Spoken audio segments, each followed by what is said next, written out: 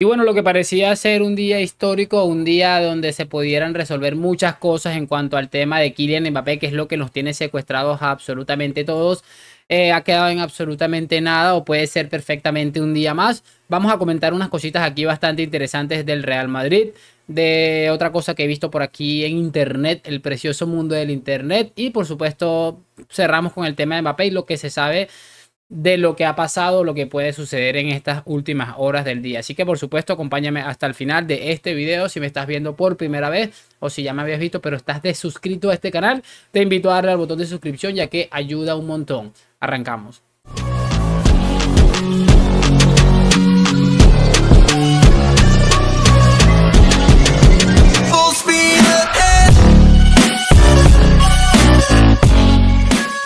Y muy buenas a todos chicos, bienvenidos nuevamente a este su pequeño espacio para madridistas. Y como ya ustedes lo saben, aquí traemos información relacionada con el 14 veces campeón de Europa, pero también con el mundo del fútbol en general, así que sin mucho más cuento ya sabes lo que tienes que hacer, te lo dije hace un momento, like, suscripción, déjame tu comentario, todas esas cositas que siempre decimos. Eh, nada, les voy a comentar para empezar Pese a lo que diga de Telegraph y todos los medios de comunicación que han estado tratarnos de vender, tratando de vendernos ciertas cositas relacionadas con el Real Madrid, pues esta mañana parece que se ha realizado una jornada ahí con los socios Florentino Pérez y se supone que según el título dice el Real Madrid cierra el ejercicio 22-23 con un resultado positivo de 12 millones de euros. Sin embargo, el club también deja muy claro que aún existe una deuda, aunque también dice que después de la pandemia esta ha sido la temporada con mayor número de ingresos y por supuesto el club sigue manteniendo su patrimonio y dicen que están también tratando de mantener las cosas lo mejor estable posible y por supuesto, como les digo, que sigan diciendo las cosas que vayan a decir en Telegraph, que sigan diciendo los de la caverna lo que se les venga absolutamente gana.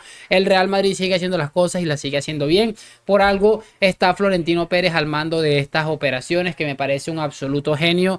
Creo que a nivel económico, sobre todo, pero también a nivel deportivo hay muy pocas personas en este mundo que puedan decirle algo a Florentino, ni siquiera verlo a la cara para tratar de recriminarle cualquier tipo de acción relacionada con estos temas de cómo dirigir una empresa, porque recordemos que pese al sentimentalismo que tenemos nosotros como aficionados, existe también algo muy importante chicos y eso está relacionado con que esto es un negocio y creo que para llevar las riendas de un negocio tan importante como es el Real Madrid Creo que no hay nadie más importante o mejor en ese aspecto que don Florentino Pérez. Así que esperemos que siga trabajando de la mejor manera, que se siga levantando el club de un golpe que le ha dado muy duro al Real Madrid, pero creo que más a otros clubes que ha sido la pandemia y la falta de ingresos, etcétera, etcétera. Vamos a dejar eso por ahí. De todos modos, la información está mucho más completa en la web del Real Madrid. Les invito a que vayan a leerla porque está bastante interesante también.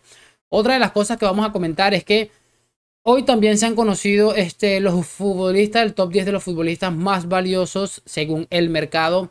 Y por supuesto, aquí está el top 10. Este hombre, Erling Braut Haaland, ha desbancado a Kylian Mbappé en la primera posición. Se coloca en la primera plaza como número uno con 22 añitos, un valor de mercado de 194 millones de euros. En el puesto número 2 encontramos a Kylian Mbappé con 24 años y 182 millones de euros en valor.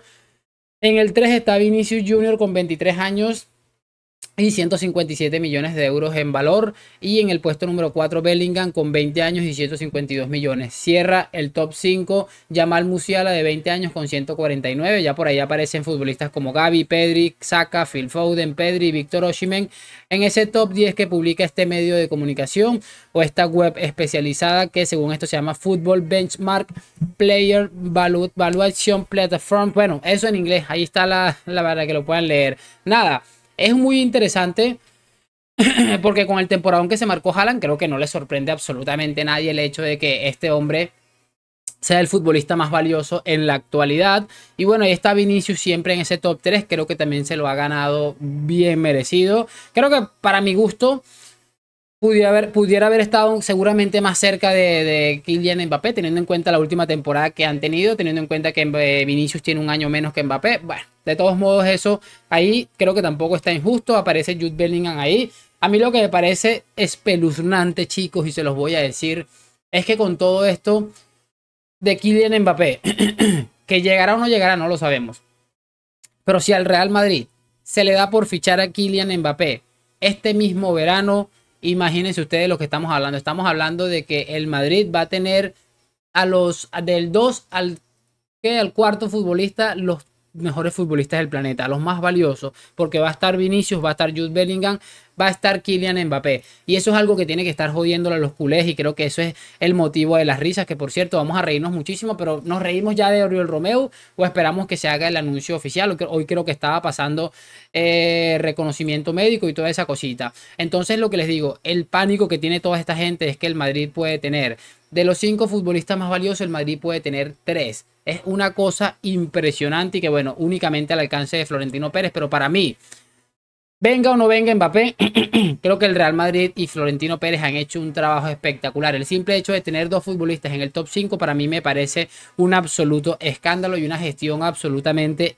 impecable. De todos modos, es entendible que nos haga falta un delantero, estamos todos de acuerdo, pero, pero creo que el trabajo que se está haciendo es bastante, bastante interesante y sobre todo teniendo en cuenta que lo que viene, que es Hendrik, parece ser que va a ser la cereza del pastel. De todos modos, ya veremos cómo acaba la cosita. No sabemos si va a llegar Kylian, ya lo veremos. Y hablando de Kylian Mbappé, pues chicos, como les digo, hoy se supone que iba a haber, iba a haber algo.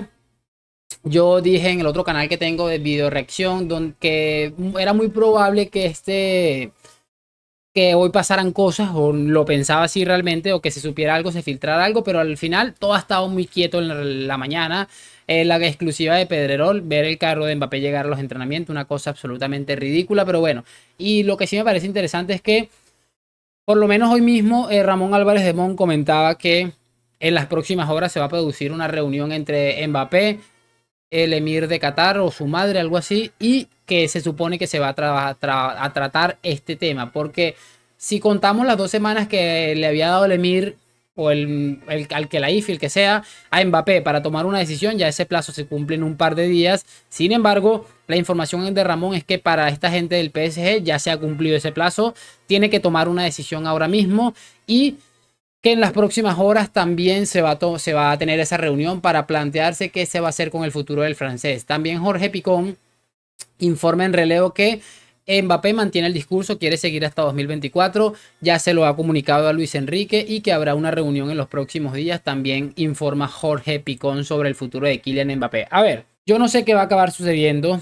Lo cierto es que, como les digo siempre, esto nos tiene absolutamente secuestrados. Yo no sé qué vamos a hacer para que esto pueda salir adelante en algún momento, pero como les dije en mi otro canal, no importa si viene o no viene. Seguramente vamos a preferir que venga así pero yo creo que lo mejor es que se resuelva lo antes posible. Creo que para las tres partes sería lo mejor. Y sobre todo también para el Real Madrid, que al final es lo que nos importa, porque no nos quita la posibilidad de estar pensando en reforzar esa delantera que nos hace falta, como realmente merece un club como el Real Madrid. No podemos ir por la vía con José, y lo siento muchísimo, pero así deberían ser las cosas. Así que ya veremos qué acaba pasando con Kylian Mbappé. A mí en este momento me toca despedirme con estas tres informaciones. Real Madrid, beneficios absolutamente positivos el nuevo ranking, el nuevo top 10 de los futbolistas más valiosos del mundo, que les ha parecido todo esto y lo que se sabe a día de hoy de Kylian Mbappé. Gracias por acompañarme, like, suscripción, deja tu comentario, nos vemos en un próximo video. A la Madrid y chao chao.